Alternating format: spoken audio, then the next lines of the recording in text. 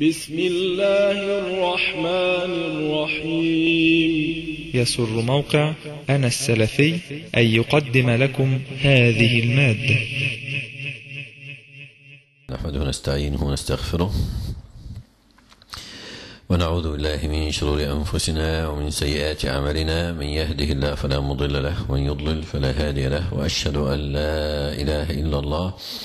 وحده لا شريك له وأشهد أن محمدا عبده ورسوله صلى الله عليه وعلى آله وصحبه وسلم تسليما. ثم أما بعد فما زلنا في كتاب البيوع الترجمة الخامسة والستون يقول الإمام البخاري رحمه الله باب آه إن شاء رد المصرات وفي حلبتها صاع من تمر.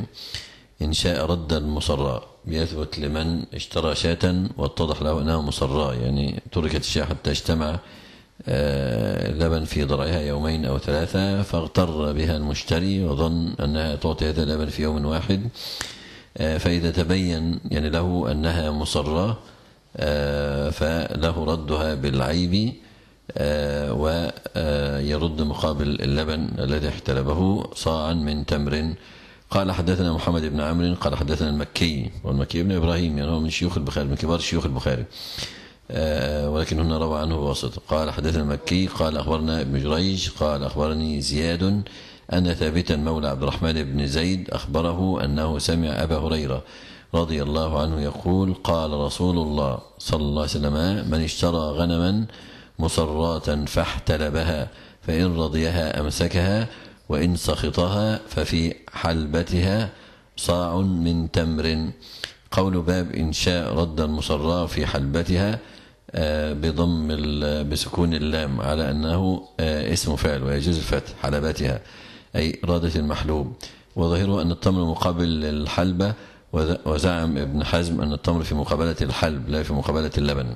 لو قلنا في مقابلة الحلب يبقى هيرد الايه هيرد اللبن ومعه صاع من تمر. لكن لو قلنا في مقابل اللبن يبقى هيرد الايه الصاع من تمر مقابل اللبن وده طبعا قول الجمهور وشاذ شاذ ابن حزم.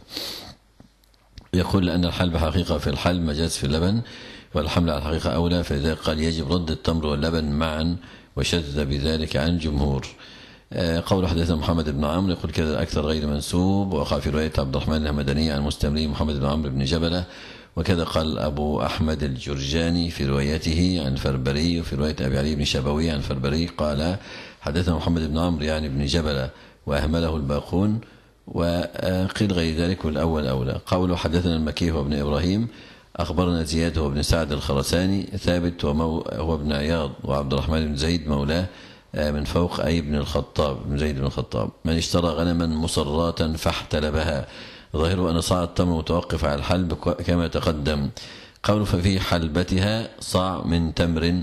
ظاهره أن صاع التمر في مقابل المصراة سواء كانت واحدة أو أكثر.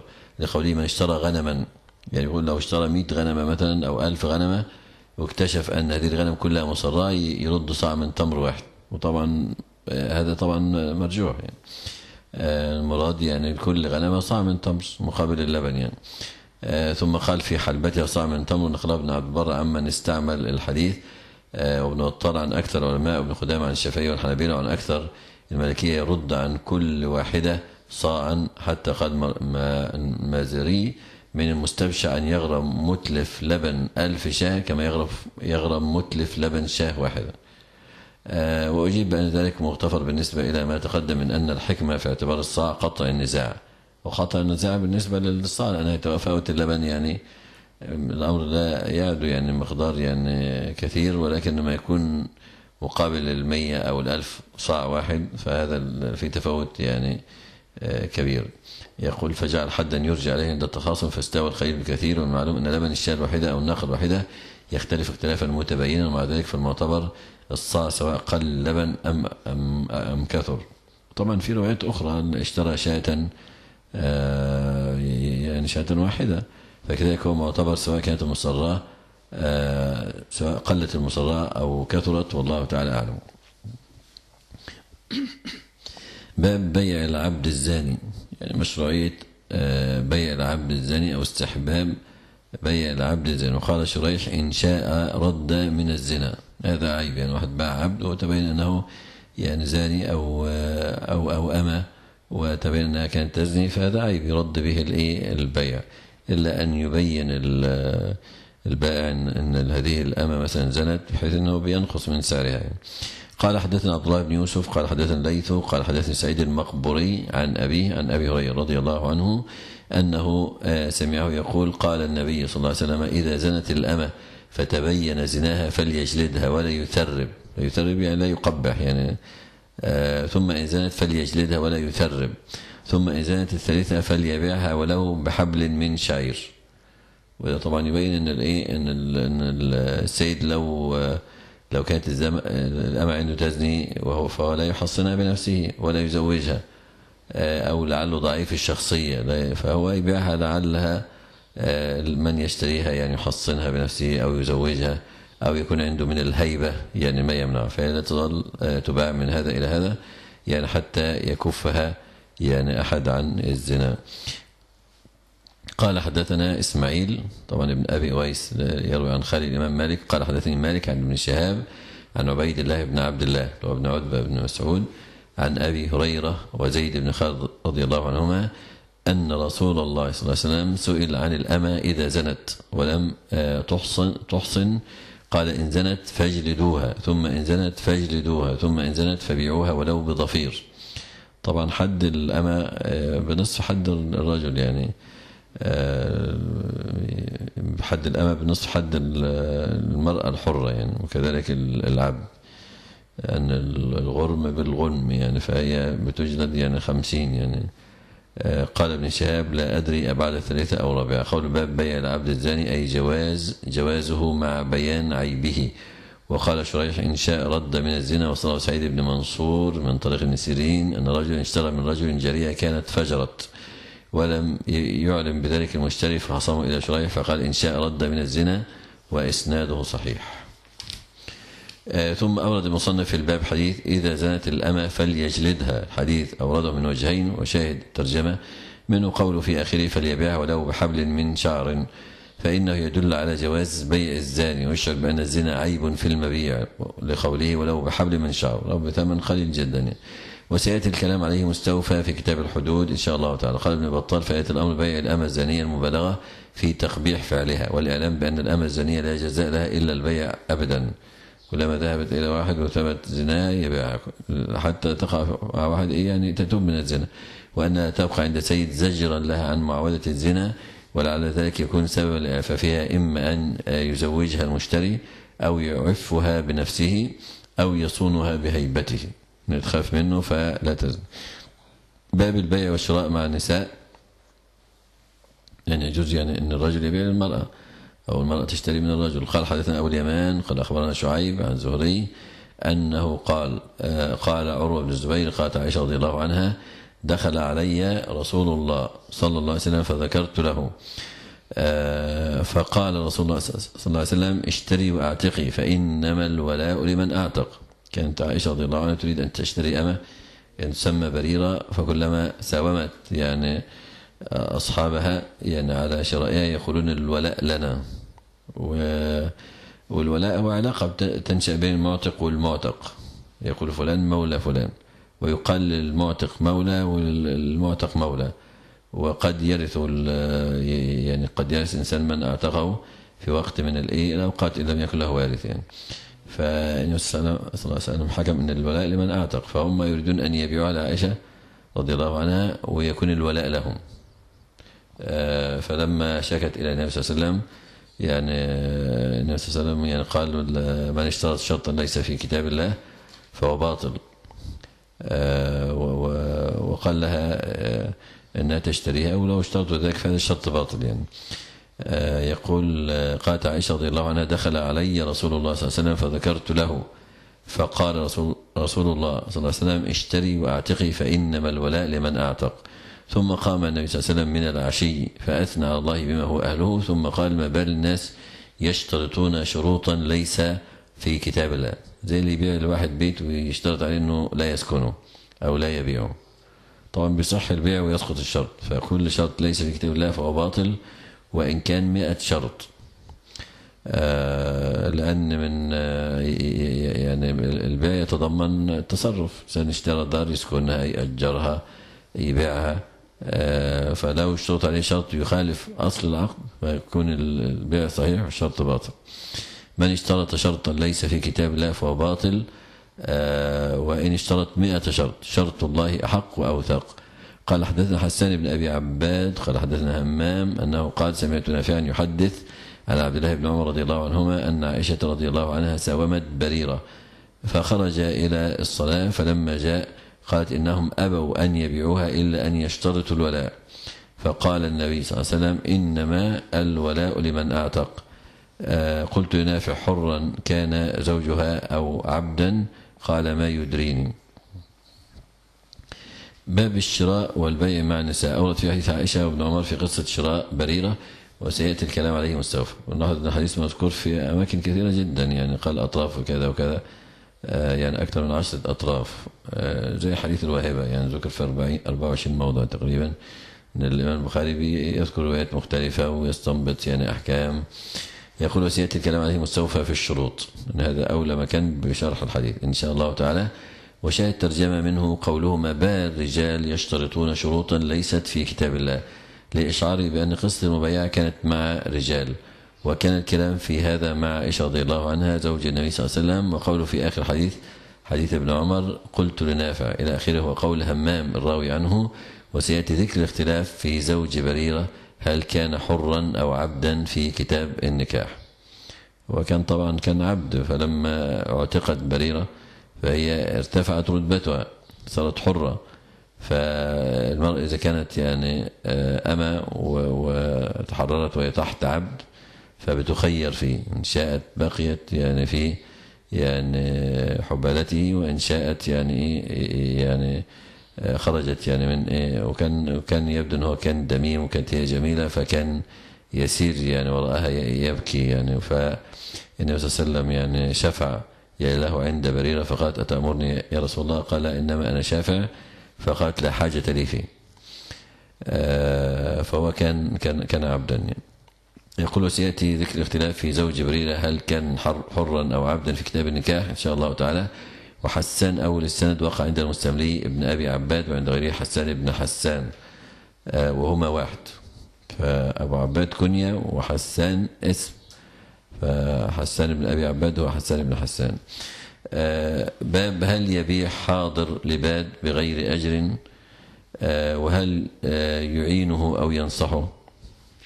الحاضر اللي هو في الحضر في المدينة والبادر جاي من البدية فهو آه، يعني قد تكون سلعة مثلا ارتفع ثمنها جدا في المدينة والرجل أتى من البدية لا يدري السعر فيجي واحد يقول له طب أنا أبيع لك مثلا فبيغلي على أهل السوق أو أهل البلد. فالحديث يعني دعوا الناس يعني يرزق الله بعضهم من بعض. فيعني قالوا ان هو لو باع له بغير سمسرة أو بغير أجرة آه، فجائز. وإن باع بأجرة انها يخلص النصيحة وإن باع بالأجرة فلا يجوز. آه، وهل يعينه أو ينصحه؟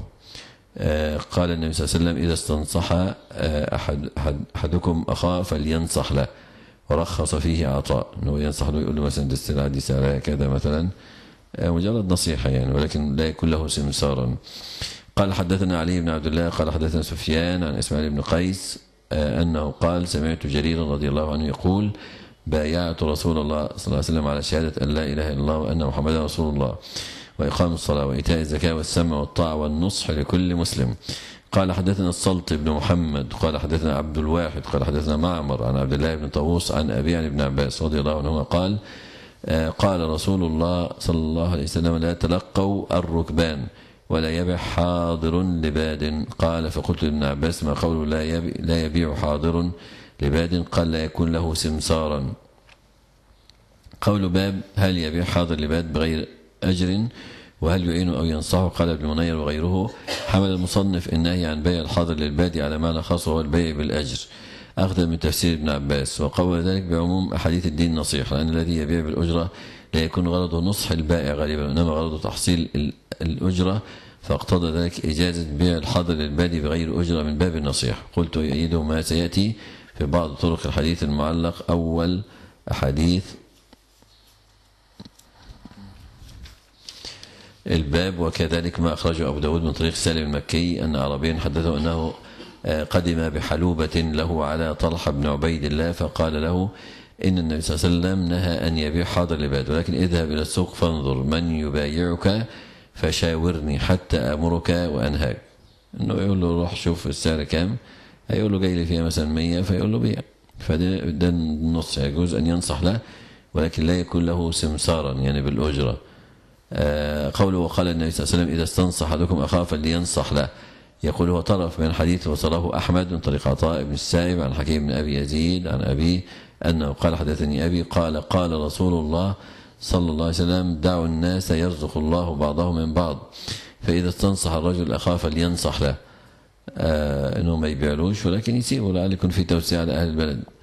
آه وإذا أراد أن ينصح بإخلاص النصيحة دون أن يأخذ أجرة فله ذلك. ورواه البيهقي من طريق عبد الملك بن عمير عن أبي الزبير عن جابر مرفوعا مثله وقد أخرجه مسلم من طريق أبي خيثمة عن أبي الزبير بلفظ لا يبيع حاضر لباد دعوا الناس يرزق الله بعضهم من بعض. قوله رخص في عطاء أي في بيع الحاضر للبادي وصلاح عبد الرزاق عن الثوري عن عبد الله بن عثمان أي ابن خثيم عن عطاء بن أبي رباح أنه قال سألته عن أعرابي أبيع له فرخص لي. وأما ما رواه سعيد بن منصور من طريق ابن أبي نجيح عن مجاهد أنه قال إنما نهى رسول الله صلى الله عليه وسلم أن يبيع حاضر العباد لأنه أراد أن يصيب المسلمون غرتهم. فأما اليوم فلا بأس فقال عطاء لا يصلح اليوم فقال مجاهد ما أرى أبو محمد إلا لو أتاه ظئر من أهل البادية إلا سيبيع لهم.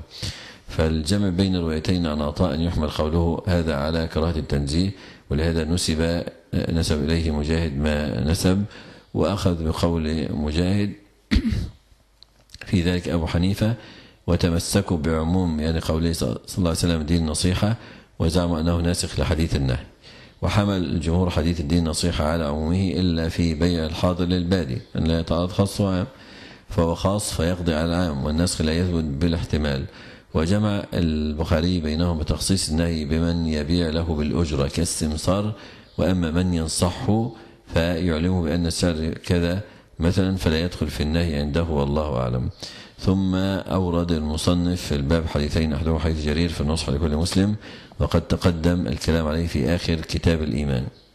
آخر ترجمة اليوم في كتاب الإيمان باب الدين النصيح أي من الدين النصيحة. والثاني حديث ابن عباس. قول حدثنا عبد الواحد بن زياد قول لا تلقوا الركبان. زاد الكشميني في روايته للبيع وسيأتي الكلام عليه قريبا. قول لا يكون له سمسارا بمهملتين هو في الأصل القيم بالأمر والحافظ له ثم استعمل في متولي البيع والشراء لغيره. وفي هذا التفسير تعقب على من فسر الحاضر بالبادي بأن المراد نهي الحاضر أن يبيع للبادي في زمن الغلاء شيئا يحتاج إليه أهل البلد. فهذا مذكور في كتب الحنفية وقال غيرهم صلاته أن يجيء البلد غريب بسلعته يريد, يريد بيعها. بسعر الوقت في الحال فيأتيه بلدي فيقول له ضعه عندي لأبيعه لك على التدريج. ده أمر تاني إن هو جايب له سلعة والسلعة الناس محتاجين لها يقول له طب سيبها عندي وأنا أبيعها لما يرتفع الثمن. فيقول له ضعه عندي لأبيعه لك على التدريج بأغلى من هذا السعر. فجعلوا حكم نوطا بالبادي ومن شاركه في معناه قالوا إنما ذكر البادي في الحديث لكونه الغالب فالحق فألحق به من يشاركه في عموم في عدم معرفة السعر الحاضر وإضرار أهل البلد بالإشارة عليه بأنه لا يبادر بالبيع وهذا تفسير الشافعية والحنابلة وجعل الملكية البداوة قيدا وعن مالك لا يلتحق بالبدوي في ذلك إلا من كان يشبهه. قال فأما أهل القرى الذين يعرفون أثمان السلع والأسواق فليسوا داخلين في ذلك قال ابن المنذر اختلفوا في هذا النهي فالجمهور أنه على التحريم بشرط العلم بالنهي وأن يكون المتاع المجلوب مما يحتاج إليه وأن يعرض الحضري ذلك على البدوي. إن هو اللي يقول له اديني وأنا بيع لك ولكن لو هو البدوي نفسه قصد واحد وقال له بالي فلو عرضه البدوي على الحضري لم يمنع. زاد بعض الشافعية عموم الحاجة وأن يظهر ببيع ذلك المتاع السلعة في تلك البلد. قال ابن دخيل عيد أكثر هذه الشروط تدور بين اتباع المعنى أو لفظ